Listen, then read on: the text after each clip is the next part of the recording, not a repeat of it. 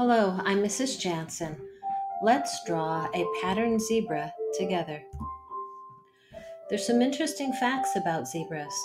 Most of them live in Africa, and there are three main types or species Grevy's, mountain, plains, also called common.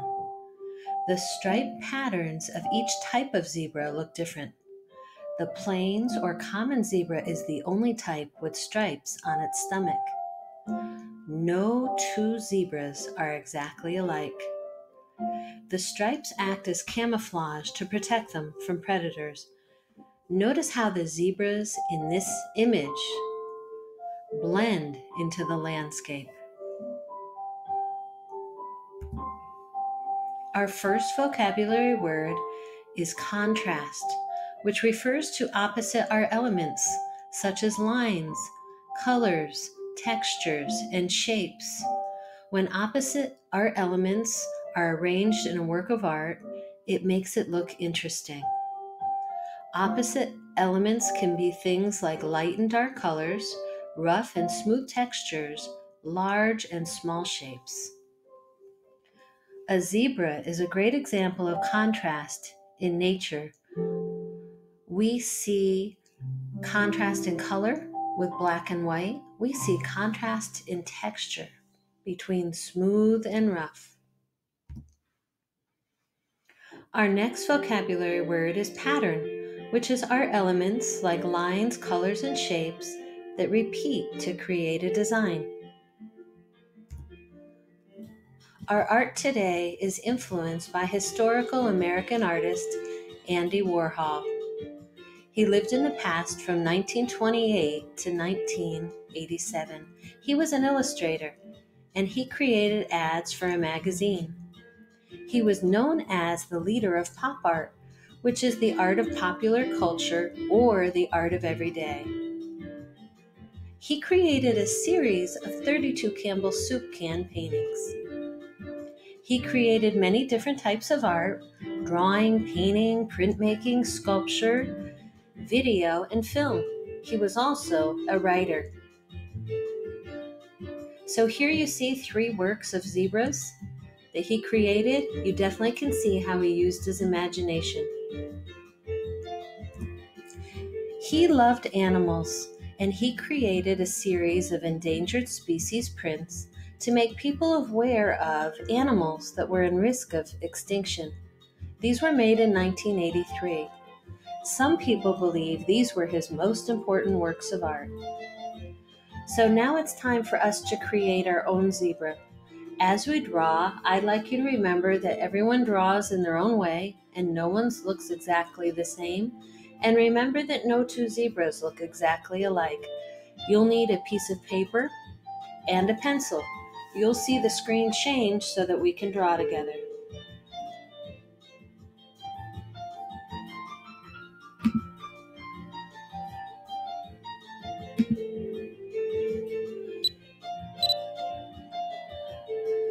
So place your paper vertically or portrait style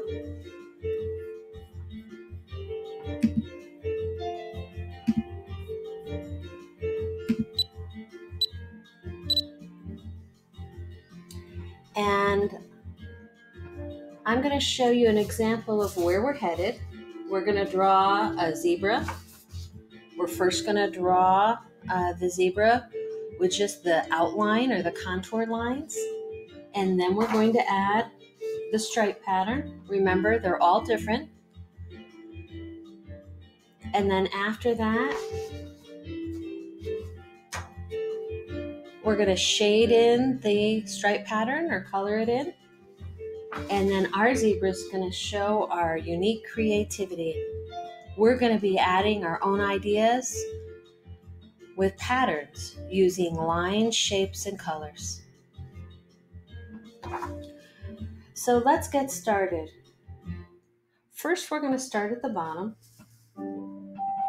and about three finger spaces in, we're going to add a curved diagonal line. Now remember we're sketching and we want to use light pressure because we may change this line.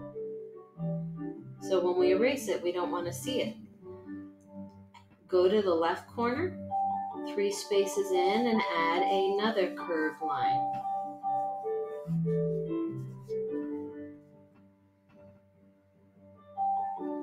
And now about three finger spaces up from the bottom of the paper, add a curved line like a smile. And about leave about one finger space on the right and the left at the neck. Now we're going to go to the right side and we're going to add a curved line that might remind you of a stretched out letter S. And let's go to the left side. This time we're going to add a curved line that might remind you of a backwards stretched out letter S.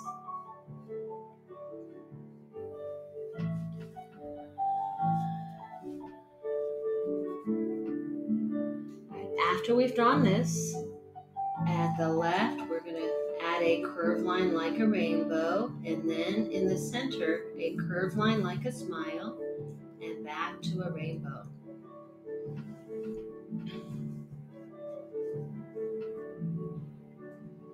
We're creating the large nose of the zebra. And now let's go to the bottom and we're going to add the nostrils. It looks like a diagonal raindrop shape.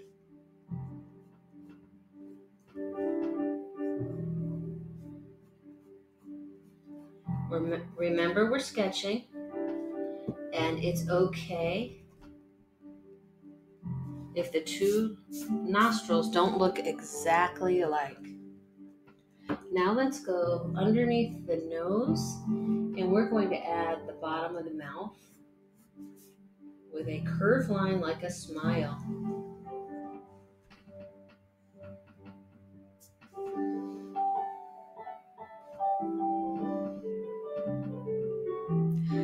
Now it's time to start the head of the zebra. So let's go back to the nose and at the bottom part of this stretched out curved line that looks like an S, let's add a diagonal line.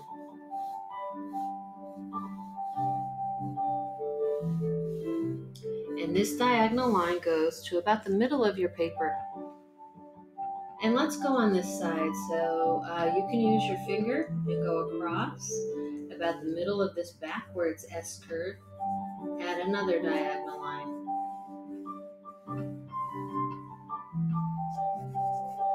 again, we'll refine or change these as we go. We're going to get the, the main shape. All right, so now that we've got part of the head drawn, uh, let's focus on the top of the head. So we're going to leave these two diagonal lines and about three finger spaces from the top in the middle of the paper. We're going to add a curved line like a rainbow.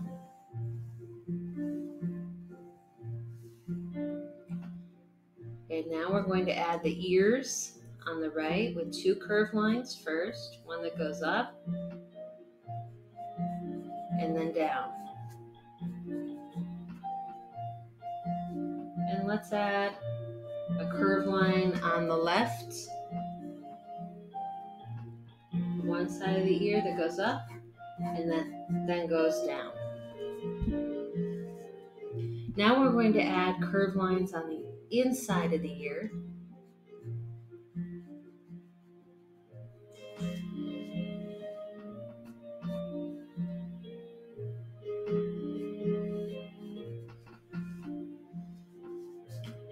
And now we're going to add the mane. So the top center, add one straight vertical line, and then to the right, add curved lines. A little less than a finger space away, about three or four, and then go back to the center line and add the curved line in the opposite direction, about three or four. So this is the mane.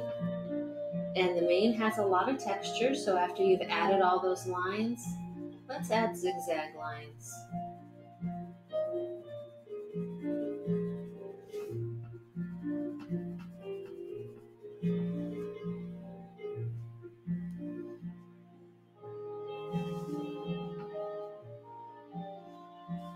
So now that we've got the mane done, we're going to go to the base of the ear and we're going to add a curved line that might remind you of a stretched out backward C. And this is going to be for the eye. Now we want the eyes to be in the same place on the head, so as lightly as you can, draw a horizontal line across the face of this zebra. At the top of that curved line and the bottom. So we're using these as guidelines. Um, some people call them construction lines because we're building a drawing. So now that we've got those two guidelines in place, we know we're going to be erasing them in a few minutes, but they're there to help us know where to place the outer curve of the eye. So go ahead and add that. It looks a lot like a stretched out C.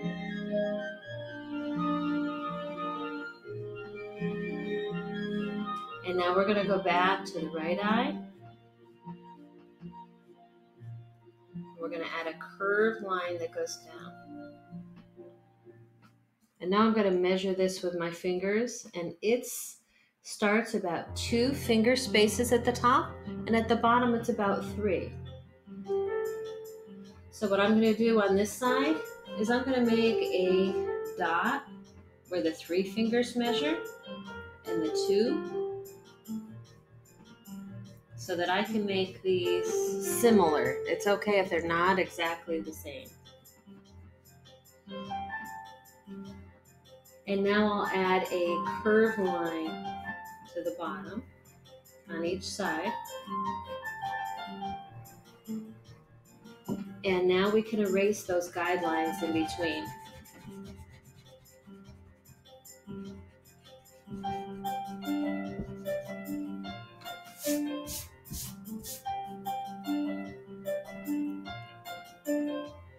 So now I'm going to go back inside the shape and I'm going to add another curved line. That's going to be the upper eyelid to the zebra. And a curved line on the left. And now I'm going to add a curved line like a smile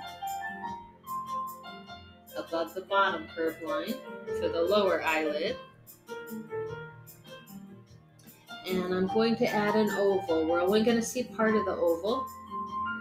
And this is the dark center of the zebra's eye. I'm going to add the same on this side. And we'll add shading to this later if you'd like. You can color the pupil in now. That'll be the dark center.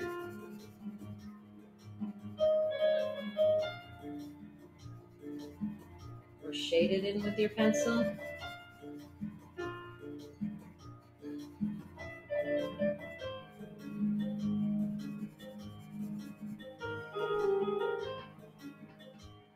And you can add eyelashes.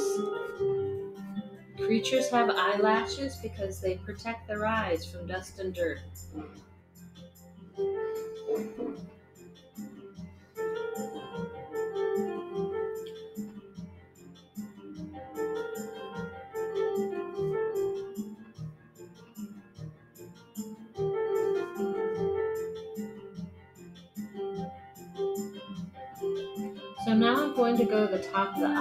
I'm going to add a curved line that goes down to the top of the nose. I'm going to do the same thing on this side. And now I'm going to look at the curved line that I drew earlier and I'm going to decide to change it. I'm going to bring it in a little bit.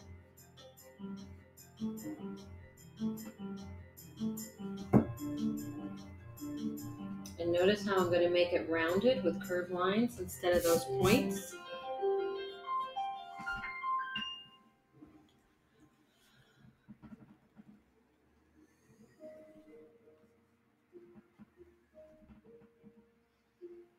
And now we've got our zebra drawn and it's time to start the stripe pattern. So remember the stripe pattern looks different on every zebra um, and this shows an example of one stripe pattern. So the main thing I'd like you to know is that in this example, I started down the center first with just a vertical line, and then I mapped out. What I did is add curved lines from the center, and those are above the eye. And then I used curved lines in the center.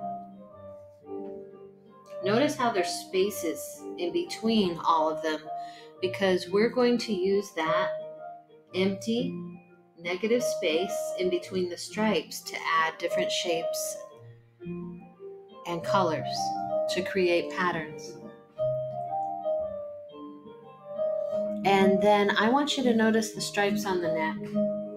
This is more of a curved line like a smile that wraps around the body, the front of the zebra. And then I've only got one that can be complete, and the second one is partial. And notice the space in between. So remember that all the stripes look different. So uh, let's get started on stripes. I'm going to start with that vertical line that goes down the center. And then I'm going to have a space from the top of the head. I'm going to bring a curved line to the eye. So the curve at the top of the eye is important. It helps to give the illusion that the zebra is 3D. And make sure you leave a large space in between and add another curved line.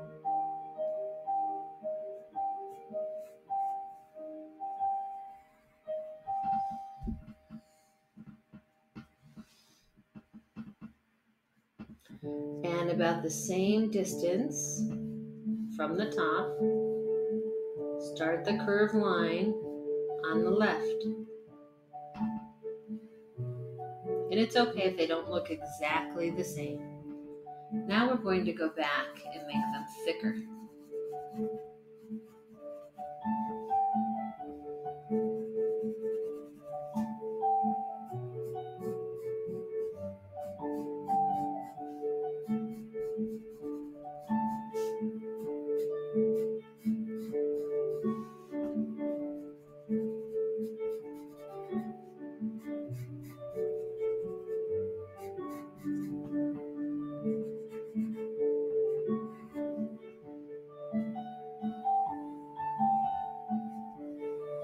Remember we learned that the three main types each have their own stripe pattern, but there are no two zebras exactly alike.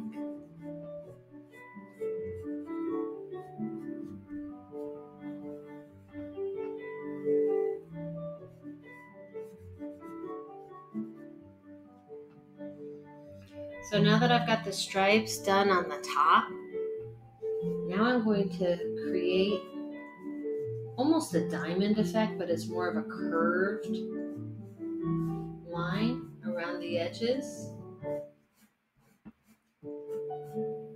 And I'm going to add to these lines. The important thing is that you need to have space in between to add lines and shapes.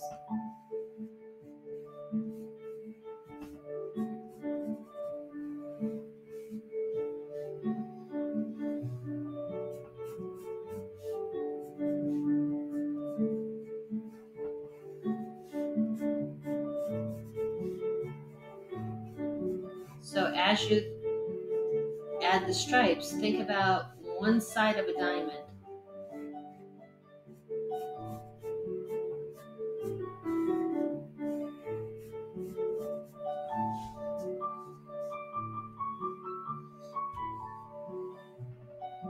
And this curved line that we attach the eye to the nose, I'm going to make this thicker. This is going to be a stripe.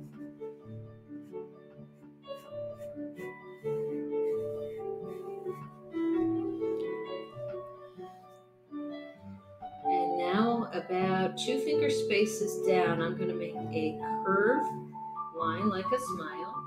I'm going to add that on both sides. And then a diagonal line. that goes back to the center. Now we'll go back and we'll make this thicker.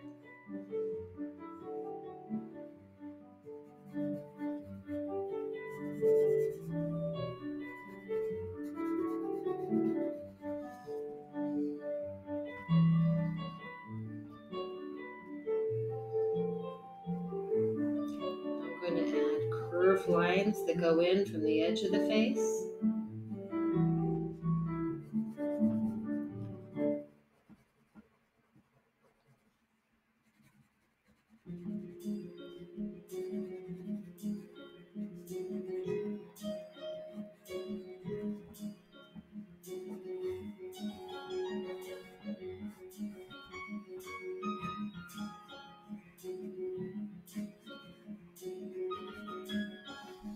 Remember, these are just our beginning lines. And now I'm going to add the stripes on the neck. Now, when I look at the neck that I drew, I think I'd like this neck wider. So I'm just going to add to it now before I start the stripes.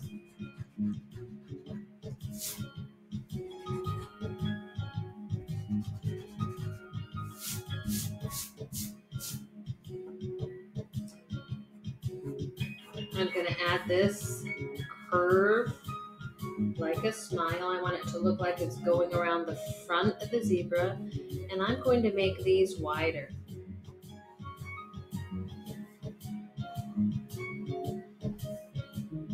And the next stripes are going to be a curve, but they go off the page at the bottom.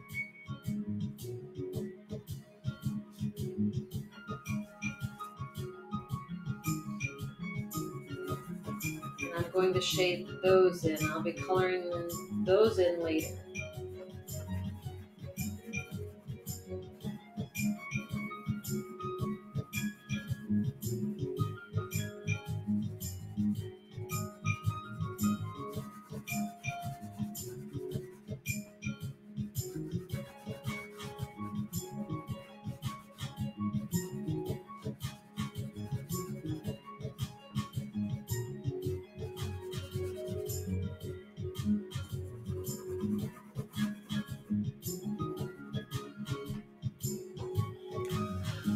So we've got our zebra drawn, and now it's time for you to use your imagination and add color.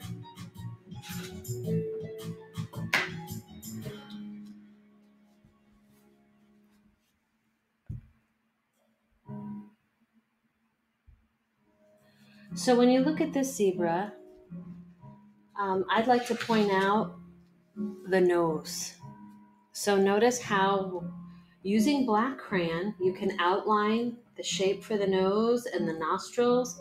And here's where you'll use your crayon differently with different pressures to create lights and darks or values. So add the darkest value inside the nostrils and then you'll notice that I added a darker value, almost an oval shape, on the outside of those upside down raindrops to make those nostrils look more rounded. And then you will outline the entire shape for the nose and that curved line for part of the mouth. And then you will add color to this more of in a curved or horizontal direction. And notice how I we want to change the pressure from light to dark. Notice how we can still see the texture of the paper, and that's showing us the texture that's rough on the zebra's nose. Let's talk about the eyes.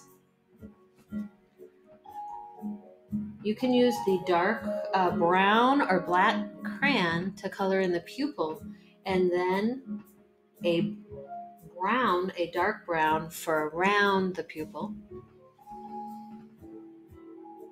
And then you can outline the eyelashes with your black crayon. And then you can go back, outline the whole contour, the outline of the zebra. And then you can outline and add black to the stripes. choose any color that you'd like for the inside of the zebra's ears, and then you get to decide what color or colors you'd like to add to the mane. We often see black in the zebra's mane, so you may want to make sure that you have some black stripes, but that's your choice. And now, when you go back to create patterns, think about different shapes or lines and use your crayon differently. I first drew different shapes using a little heavier pressure, and then I used light pressure as I colored over the, the shapes or the lines that I added. So, this is your art. You can use your creativity and you can add any lines or shapes that you'd like. Remember, when it comes to the ears, you're choosing any color you'd like. And I hope you're using your favorite colors. Remember to always use what you know about color when you're making your choices. So you want to remember colors that make each other stand out, those complementary colors. If you're using a blue and you really want that blue to stand out, make sure you have an orange nearby. It's complement. If you have a yellow and you really want that yellow to stand out, remember that purple is its complement. If you'd like to use a green in your artwork and you'd like that stripe to really stand out, add a color that's in the red family close to the green. And when you're all finished, remember to color the background. And the color in the background can be any color that you'd like. This is your artwork. I hope you've enjoyed drawing a pattern zebra today.